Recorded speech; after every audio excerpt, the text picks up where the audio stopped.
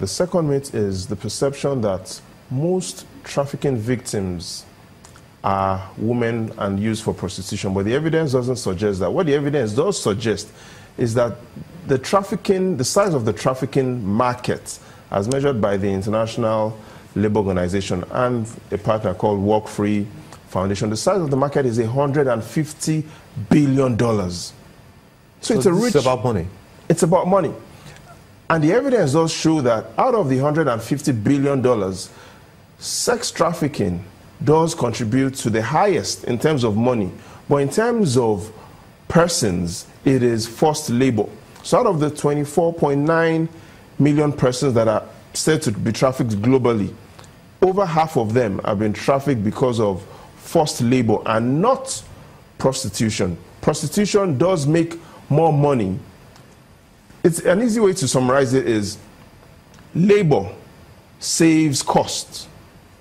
Sex trafficking earns profits. And so for those in the business, they do move people to regions where they want to save costs, and that is where the volumes are. But where the profit is, is in sex trafficking. And the third myth is that Brexit will have no significant impact on Nigeria and in Africa. But again, that is a myth.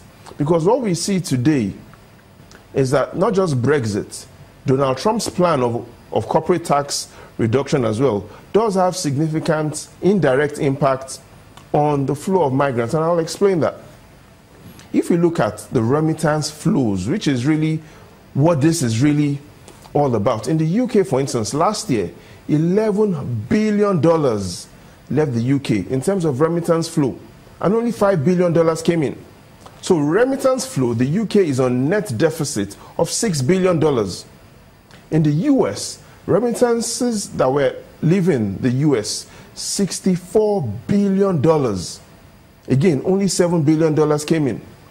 Again, a net deficit in the US of $54 billion. So we can see a net deficit of remittance flow in the UK, in the US, and that is also not significantly different from other states in Europe. The challenge is where do these monies go to? Two countries in Africa have the highest remittance inflow Nigeria and Egypt. In Nigeria, remittance inflow last year was $19 billion. So, again, the question of the migrant crisis isn't just really about poverty, it's not just about prostitution, it is really about money. Countries now trying to ensure that they keep as much resources to themselves. Jide Ogunsanwo, thank you so much indeed, our colleague here on Channels Television. That's how it's been on, uh, we must thank you so much indeed. Uh, that's how it's been on Sunrise Daily. Thank you for watching. I am Gimba Umar. And I'm Neo Tagwe. Thank you. Thank you. I'm Maupe Ogun. I'm Ajuri Ngelale. Have a beautiful day.